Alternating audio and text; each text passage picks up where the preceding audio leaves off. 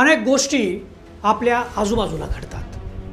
या घडलेल्या घटनांचा अर्थ पडद्यामागे घडलेल्या घटनांचा अन्वय अर्थ उलगडून मांडणारा संबंधित क्षेत्रातील जाणकार आणि तज्ज्ञांना मुद्द्यावर बोलतं करणारा.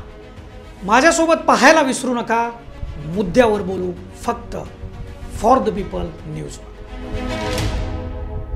Hanuman Chalisa पठण सध्या महाराष्ट्रातच नव्हे तर संपूर्ण देशभर गाजत आहे प्रादेशिक वृत्तवाहिन्यांबरोबरच राष्ट्रीय वृत्तवाहिन्यांच्या हेडलाईन्स आणि प्राईम टाईमच्या चर्चा या विषयावर झडताना दिसत आहेत या प्रकरणावरून महाराष्ट्रात राष्ट्रपती राजवट लागू होणार का अशी देखील चर्चा आता राजकीय वर्तुळामध्ये जोरात सुरू झाली. गेल्या पंधरवड्यातील महाराष्ट्रातल्या घडामोडी बघितल्या तर भाजपाकडून महाविकास आघाडीतील प्रमुख घटक पक्ष असलेल्या शिवसेना व राष्ट्रवादीला टार्गेट केल्याचं दिसत आहे विशेष करून हनुमान चालिसाच्या मुद्द्यावरून सुरुवातीला राज ठाकरेंनी शंख फुकल्यानंतर भाजपाकडून तीन अमराठी नेत्यांना मैदानात उतरवलं गेलं हे तीन अमराठी नेते म्हणजे भाजपचे नेते व माजी खासदार किरीट सोमय्या. मुंबईतील भाजपचे नेते मोहित कंबोज आणि अमरावतीच्या अपक्ष खासदार नवनीत राणा. अनेकांना आश्चर्य वाटलं की अमरावतीच्या खासदार नवनीत राणा आणि त्यांचे पती आमदार रवी राणा यांनी मुंबईत येऊन हनुमान चालिसा म्हणण्याचं कारण काय? त्यानंतर भाजपचे नेते मोहित कंबोज यांनी मातोश्रीजवळ जाण्याची गरज काय? राणा दाम्पत्याला अटक केल्यानंतर तणावाचं वातावरण असताना देखील किरीट सोमय्यांनी पोलीस स्टेशनला जाण्याची गरज काय? तुम्ही एक नोटीस केलं का? या सगळ्या घडामोडीत एकही महाराष्ट्रातला राजकीय नेता का नाही? मुंबई आणि महाराष्ट्रातले मूळ मराठी नेते या संपूर्ण गदारोळात केवळ बांधावरूनच आपलं मत व्यक्त करताना दिसत आहेत मैदानात हे तीन अमराठी नेते का उतरवले आहेत तर मंडळी या सगळ्या प्रश्नांची उत्तरं मुंबई महापालिकेची निवडणूक आहे. महाविकास आघाडीच्या जवळपास सर्वच नेत्यांनी सांगितल्याप्रमाणे राष्ट्रपती राजवट लागू हवी म्हणून पार्श्वभूमी तयार करण्याचा प्रयत्न देखील या प्रकरणात सुरू दिसतोय. या सर्व शक्यतांमध्ये शिवसेनेची सर्वाधिक ताकद असलेल्या मुंबईमध्येच शिवसेनेच्या वाघाला सर्वाधिक जखमी करण्याचा मास्टर प्लॅन भाजपकडून आखलेला दिसतोय. त्याच दृष्टिकोनातून मुंबई माहेर असल्याचं सांगून आपल्या माहेरात हनुमान चालिसा पठण करण्यासाठी शिवसेनेला चॅलेंज देत मुंबईत आलेल्या अमरावतीच्या खासदार नवनीत राणा त्यांचे आईवडील पंजाबचे. त्यांचं करिअर तेलगू चित्रपटसृष्टीत झालेलं आहे आणि जन्म मुंबईतला आहे. दुसरे मोहित कंबोज हे मूळचे वाराणसीचे आहेत आणि मुंबई भाजपचे ते नेते आहेत. हनुमान चालिसा प्रकरणात मोठ्या संख्येनं लाऊडस्पीकर घेऊन काढलेले त्यांचे फोटो व्हायरल झालेले आपण बघितलेत. त्यानंतर मातोश्रीची रेकी करण्याच्या प्रकरणावरून शिवसैनिकांनी त्यांच्या गाडीवर देखील हल्ला चढवला.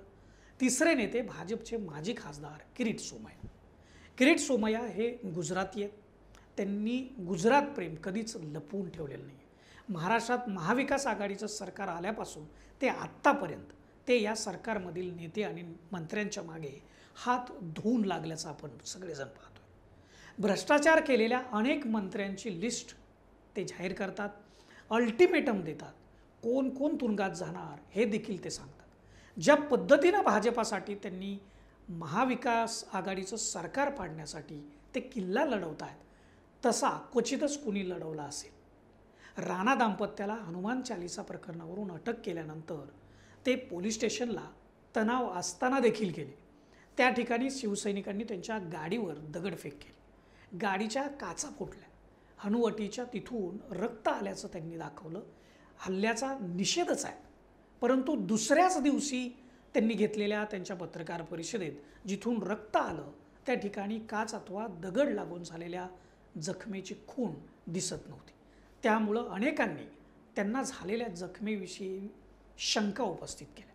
सोशल मीडियावर तर त्यावरच्या प्रतिक्रियांचा पूर आलेला आपण बघितला आहे भाजपकडून हे तिघेही अमराठी नेते मुंबईतील घडामोडीसाठी मैदानात उतरवल्याचा एकच अर्थ निघतो आणि तो म्हणजे मुंबई महापालिकेची निवडणूक. दोन हजार एकोणीसमध्ये महाराष्ट्राच्या राजकारणात अभूतपूर्व अशी राजकीय वळणं घेत सत्तेत आलेलं महाविकास आघाडीचं सरकार आपल्याला बघायला मिळालं. हे सरकार केवळ शिवसेना भाजपपासून दूर गेल्यानंच बनलेलं आहे. तेव्हापासून ते आत्तापर्यंत भाजपकडून महाराष्ट्रातील हे सरकार पाडण्यासाठी आणि शिवसेनेला कॉर्नर करण्यासाठीचे हर प्रकारे प्रयत्न झाले खरं तर मुख्यमंत्रीपदावर भाजपचाच अधिकार असताना शरद पवारांच्या राजकीय खेळीमुळं उद्धव ठाकरे मुख्यमंत्री झाले आणि विरोधात बसणारी राष्ट्रवादी काँग्रेस आणि काँग्रेस सत्तेत सहभागी झाली. ही गोष्ट भाजपच्या जिव्हारी लागणं साहजिकच आहे. त्यामुळं त्यांच्याकडून सरकारला घेरण्याचा प्रयत्न कायमच राहिला. माजी खासदार किरीट सोमय्या यांच्या माध्यमातून महाविकास आघाडीतील मंत्र्यांवर भ्रष्टाचाराचे आरोप करण्यात येऊ लागले. सभागृहात विरोधी पक्षनेते देवेंद्र फडणवीस व प्रवीण दरेकर यांनी सरकारच्या भ्रष्टाचाराची पोलखोल करताना दिसले. राज्यभर आंदोलनं झाली. मात्र काही केल्या सरकार पडेल असं दिसेना.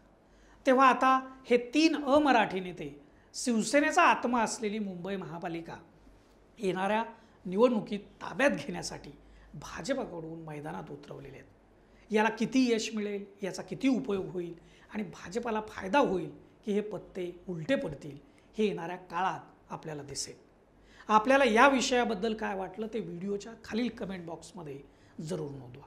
आणि हा व्हिडिओ जिथं आपण पाहत असाल तिथं फॉर द पीपल न्यूजच्या चॅनलला सबस्क्राईब करा लाईक व फॉलो जरूर करा.